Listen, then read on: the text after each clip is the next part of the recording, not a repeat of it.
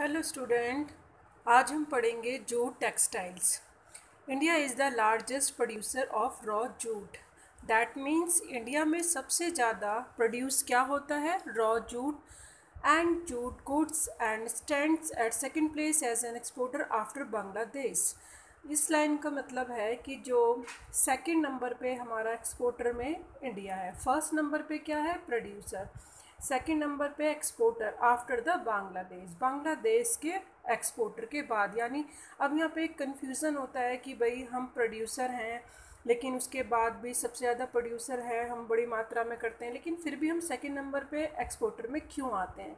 तो इसको भी हम अंडरस्टैंड करेंगे, क्योंकि आप एक एग्ज़ाम्पल लीजिए कि अगर बांग्लादेश फोर्टी बेल्स का क्वांटिटी में प्रोड्यूस करता है। बेल्स यानी जो क्वांटिटी में इनको नापा जाता है, थान वगैरह होती हैं, उसे कहते हैं। तो उसमें, इसमें अगर उन्होंने फोर्टी करा और फोर्टी में से थर्टी उन्होंने एक्सपोर्ट कर दिया तो रेशियो में इनका ज़्यादा है। लेकिन इंडिया का एग्ज़ाम्पल लें तो अगर वो सेवेंटी प्रोड्यूस करती है और उसमें से सिर्फ़ ट्वेंटी या थर्टी ही एक्सपोर्ट कर रही है। तो रेशियो में इंडिया का एक्सपोर्ट क्या हो गया? कम हो गया। अब ऐसा क्यों है कि भाई बांग्लादेश एक्सपोर्ट करने में सक्षम है, जबकि हम नहीं है? ऐसा क्या रीज़न है? क्योंकि बांग्लादेश जो है, जो प्रोड्यूस करती है अपना सारा प्रोसेस उसको एक्सपोर्ट करना ही पड़ेगा क्योंकि उसके पास मील्स ही नहीं है ताकि उसको वो वैल्यूएबल प्रोडक्ट बना सके प्रोड्यूस कर सके, कम है। लेकिन इंडिया के अंदर इतना लार्जेस्ट जो प्रोड्यूसर है, उसको कंप्लीट करने के लिए प्रोसेसिंग वैल्यू करने के लिए मील्स हैं। आप जितने भी मील्स देखोगे West Bengal mainly along the banks of the Hooghly river तो वेस्ट बंगाल में, वेस्ट बंगाल में मिनिमम सेवेंटी परसेंटेज जो आप देखेंगे, हुगली रिवर के पास जो एक बेल्ट जा रही है नैरो बेल्ट जा रही है, वहाँ पर बहुत सारी मिल्स मिलेंगी लोकेटेड हैं। इसको भी हम अंडरस्टैंड करेंगे बट पहले अभी हम ये समझ लें बांग्लादेश में क्यों? बंग, अब इसकी भी एक स्टोरी है, यहाँ से देखेंगे। The first jute mills was set up near Kolkata in 1855 at Rishra यहाँ पे सबसे पहले कोलकाता में जूट मिल इस्टेब्लिश की गई। आफ्टर पार्टीशन इन 1947 जब पाकिस्तान और इंडिया का पार्टीशन हुआ था तो जूट मिल जो थी रिमेन इन इंडिया ध्यान रखना इस चीज़ को कि इंडिया के अंदर ये जूट मिल्स रह गई थी। But three fourth of the jute producing area went to the Bangladesh लेकिन बांग्लादेश में भी थ्री फोर्थ पार्ट चला गया। इस वजह से वहाँ भी प्रोड्यूसिंग होती है। जो आज जो आज फिर जो बांग्लादेश था ईस्ट बांग्लादेश था, जो वो क्या बन गया? वो पाकिस्तान, ईस्ट पाकिस्तान के नाम से जाना जाने लगा। लेकिन बांग्लादेश का भी पार्टीशन जब इससे हो जाता है पाकिस्तान से तो वो फिर से अपना बांग्लादेश स्वतंत्र होकर अपनी सेपरेट ईस्ट बांग्लादेश बन जाता है। तो दैट मीन्स यहाँ पे एक पार्टीशन के बाद का टाइम बताया है, जिसकी वजह से जूट मिल्स इंडिया में ज़्यादा रह गई और इसीलिए यहाँ पे पूरा प्रोसेसिंग करने का एक सिस्टम है, जबकि बांग्लादेश में भी गई कुछ मिल्स लेकिन वहाँ पे प्रोड्यूसिंग सिस्टम करने का है, ना कि उसको एक वैल्यूएबल बनाने की मिल्स ज़्यादा हैं। जैसे कि हमारे पास आपने कॉटन टेक्सटाइल में पढ़ा था कॉटन को वैल्यूएबल बनाने के लिए हमारे पास क्या है? स्पिनिंग तो बेस्ट है, हम स्पिनिंग कर सकते हैं, लेकिन हम क्या नहीं कर सकते? वीविंग नहीं कर सकते। हमारी बेस्ट क्वालिटी की वीविंग नहीं है, जिसकी वजह से क्या होता है? हम बाहर से क्या करते हैं? इंपोर्ट करते हैं और एक्सपोर्ट करते हैं हम यान क्योंकि हमारा स्पाइनिंग बहुत बेस्ट है। तो इसी तरह बांग्लादेश का जो प्रोड्यूसिंग है वो एक्सपोर्ट करते हैं क्योंकि उनका वो आ, कर सकते हैं। लेकिन वो वैल्यूएबल में चेंज नहीं कर सकते तो इसीलिए वो आ, क्या कहते हैं इसीलिए वो सिर्फ़ उस चीज़ को प्रोड्यूस करके एक्सपोर्ट कर देते हैं। तो इंडिया फ़र्स्ट लार्जेस्ट प्रोड्यूसर है। और सेकेंड एक्सपोर्टर है। तो इस चीज़ को आप क्लियरफाई कर लीजिए और रिमेंबर अब नेक्स्ट चीज़। हम अंडरस्टैंड करेंगे factor responsible for their location in the Hooghly basin अब हुगली बेसिन यानी जो वेस्ट बंगाल में आप देखोगे, जहाँ से हुगली रिवर जा रही है साउथ में, उस साइड में अगर आप देखेंगे तो एक नैरो बेल्ट जा रही है और वहाँ पे ये लोकेटेड हैं जूट मिल। क्यों? क्यों हुगली रिवर के पास ही ऐसे कौन कौन से फैक्टर हैं जिसकी वजह से हुगली बेसिन पे ही जूट मिल्स एस्टैब्लिश हैं? पहला proximity proximity of the jute producing areas क्योंकि यहाँ पे सबसे ज़्यादा प्रोड्यूसिंग एरियाज़ हैं जहाँ पे जूट होती है। क्योंकि जूट जूट को प्रोड्यूस करने के लिए क्या चाहिए? वाटर क्वांटिटी ज़्यादा चाहिए।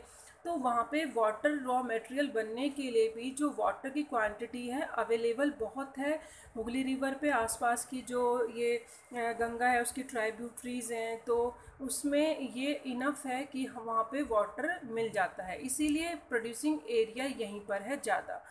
इन एक्सपेंसिव वाटर ट्रांसपोर्ट क्योंकि जो हम अगर देखें तो ये सस्ता पड़ता है। अगर वाटर ट्रांसपोर्ट से हम सप्लाई करते हैं तो उनको बहुत चीप पड़ता है। रैदर देन अगर हम अब जूट है, उसको हम उसमें तो भेजेंगे नहीं एरोप्लेन में। तो इसीलिए क्या होगा, जो इन एक्सपेंसिव होगा, वो वाटर ट्रांसपोर्ट उनके लिए ज़्यादा पड़ेगा क्योंकि ये एक बहुत बड़ी क्वांटिटी में जाता है।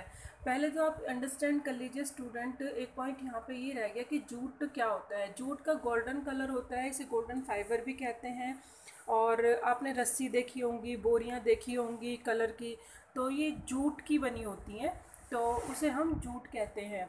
नेक्स्ट अब हम देखेंगे कि क्या रिस्पॉन्सिबल है support by a good network of railway एक तो रेलवे का नेटवर्क बहुत अच्छा है रोडवेज़ का वाटरवेज़ का, यहाँ पे बहुत अच्छा कनेक्टिविटी है, इसीलिए यहीं पे ज़्यादा प्रोडक्शन होता है। To facility movement of raw material to the mills और मिल्स का जो रॉ मटेरियल है उसकी फैसिलिटीज़ के लिए जो उनको चाहिए होता है मील्स में जो चाहिए होता है, वो सब अवेलेबल है। और इजीली रोडवे से रेलवे से वाटरवे से मील तक पहुँचाया जाता है। जैसे शुगर बनाने के लिए शुगर कैन मिल जाता है इजीली तो वहीं पे शुगर कैन जहाँ मिलता है, वहीं पे शुगर जो इंडस्ट्रीज़ होती हैं इस्टेब्लिश की जाती हैं ताकि ईज़िली वहीं पर उनको रॉ मटेरियल मिल सके। तो इसीलिए यहाँ पे हुगली बेसिन पे ही मोस्टली ये मिल्स लगाई जाती हैं ताकि उन्हें सारा रॉ मटेरियल मिल सके। Abundant water for processing raw jute और पानी भी बहुत बड़ी ए, मात्रा में यहाँ पे अवेलेबल है जूट के लिए जो कि चाहिए चाहिए रॉ जूट के लिए क्योंकि ये पानी में ही होता है। चीप लेबर इजीली मिल जाता है वहाँ पे। क्यों? वेस्ट बंगाल में वेस्ट बंगाल एक पॉपुलेटेड एरिया है, बहुत बड़ी जनसंख्या है। जब जनसंख्या जहाँ होती है तो वहाँ चीप लेबर, सस्ता लेबर आसानी से मिल जाता है। And at joining states of Bihar, Orissa, Uttar Pradesh से के स्टेट से ये ज्वाइनिंग है तो वहाँ से भी इनको ईजिली लेबर मिल जाता है। Kolkata as a large urban centre provides banking, insurance and ports facility for export of jute goods. और दैट uh, मीन्स जो कोलकाता है अर्बन सेंटर यानी जो एक बहुत बड़ा मेट्रो सिटी कह सकते हैं हम। वो इससे अटैच है जिसकी वजह से यहाँ पे वेस्ट बंगाल में आ, सारी जितनी भी फैसिलिटी चाहिए होती है वो इजीली मिल जाती हैं। चाहे वो बैंकिंग हो इंश्योरेंस हो पॉट फैसिलिटीज़ हो एक्सपोर्ट फॉर जूट गुड्स के लिए जो भी कंडीशंस होती हैं वो ईज़िली उनको मिल जाती हैं। तो इसीलिए ये जो प्रोडक्शंस मील्स होती हैं मोस्टली जो प्रोडक्शंस होता है या प्रोड्यूसिंग एरिया होता है वो हुगली बेसिन बेसिन पे है। एक क्वेश्चन पेपर में मोस्टली आ जाता है कि हुगली बेसिन बेसिन पे ही लोकेशन क्यों है जूट मिल्स की मोस्टली तो ये बहुत इंपॉर्टेंट क्वेश्चन है स्टूडेंट्स और ये आपको फ़र्स्ट लाइन भी रिमेंबर रखनी है कि रॉ जूट प्रोड्यूसर में हम फ़र्स्ट हैं और बांग्लादेश के बाद सेकंड है। ठीक है? क्योंकि इसी, ये एक एक ही लाइन के अंदर बहुत ही ज़्यादा डीपली इसके अंदर मीनिंग निकलता है, क्योंकि बांग्लादेश में प्रोड्यूस तो होता है।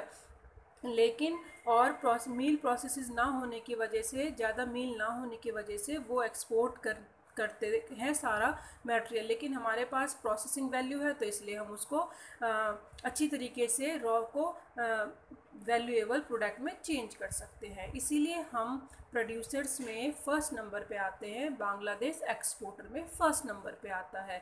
और इसके जो भी इससे रिलेटेड क्वेश्चंस हैं, आप वन वर्ड के क्वेश्चंस पे स्पेशल ध्यान दीजिए। नेक्स्ट पार्ट में हम पढ़ेंगे मेजर पॉलिसीज़ कौन सी हैं नेशनल पॉलिसीज़ जो कि गवर्नमेंट ने जूट टेक्सटाइल की प्रॉब्लम को सॉल्व करने के लिए बनाई हैं। Thank you so much